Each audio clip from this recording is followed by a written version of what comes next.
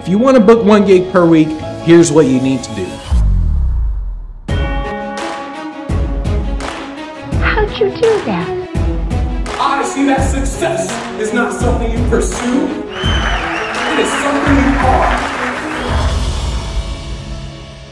Focusing on one gig per week, I mean, it's a great goal because you're taking enough action to build at least a six figure business. Realize that speakers who aren't getting at least one gig per week, it's simply because they keep saying, I know that instead of I'm actually doing that. Um, the, their knowledge isn't, it doesn't match up with their execution. I mean, your thirst for knowledge should be great, but your level of execution should be greater. It should be obsessive. You don't want to make it harder than it should be. You simply want to decide, do you want to do inbound marketing or outbound marketing to build your business? Um, you, or you can do both if you want. I mean, if you have time, you can do both. If you're going to do both, you want to plan it out. What days are you going to do inbound marketing? What days are you going to do outbound marketing? Plan it out. And then you want to make sure that you plan specific activities. So on this day, on Monday, I'm going to do the editing. On on this day, Tuesday or Monday, we're going to do content. Tuesday, we're going to do editing, and then uh, Wednesday, we're going to do this. Thursday is this. So plan it out. Plan specific activities as far as what it is you're going to do.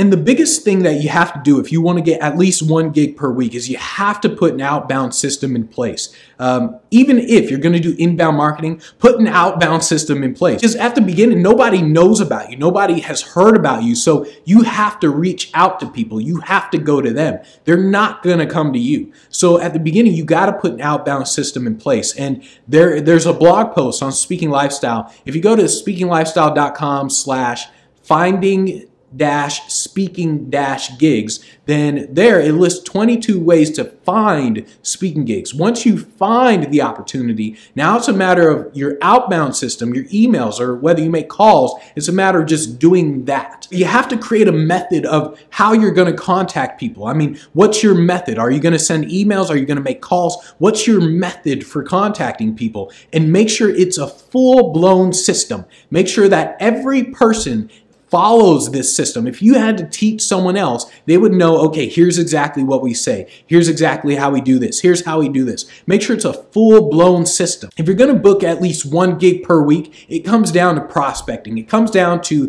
that outbound sequence where you're constantly contacting people. You're thinking about it 24 seven. That's all you do. Just contact, contact, contact. And you have that system in place. So if you want that one gig per week, make sure you know the difference between idea and execution. Make sure you, you don't say, I know this. Make sure you're implementing it. Make sure you have that outbound sequence. Make sure you're doing things to get on the stages. Make sure you're doing things where people know who you are.